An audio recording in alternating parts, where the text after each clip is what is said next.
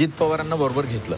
आणि एक जनमानसात जे चित्र तयार झालं की भाजप म्हणून त्यांना बरोबर घेतल्यानंतर मग तो अगदी समविचारी लोकांचा असो किंवा मतदारांचा असो सो एक विचार झाला की अरे भाजप असं कसं करू शकतं? पक्षातला जो कोर विचाराचा कार्यकर्ता आहे जो संघाच्या मार्गाने आला जो अभाविपाच्या मार्गाने आला त्याचं काय त्यानं काय करायचं? त्यानं फक्त कार्यकर्ताच राहायचं का? आतापर्यंतची भाजपची जर वक्तव्य आपण बघितली तर प्रादेशिक पक्ष हे अडसर आहेत. भारताच्या प्रगतीमध्ये. अशा स्वरूपाचा एक नॅरेटिव्ह समोर येत होता गेल्या दहा वर्षातला. आणि मग आता पुन्हा एन डी ए म्हणून एकत्र येण्याची जी गरज पडते तर मग ही वेळ का आली अशी? विरोधकांचं एकत्र येणं भाजपला थोडंसं अडचणीचं वाटतं? त्यांच्या इंडियाचा अर्थ भारत समजू नका.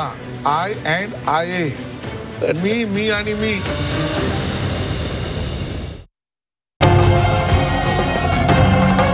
छत्रपतींचा विचार. म्हणजे विचार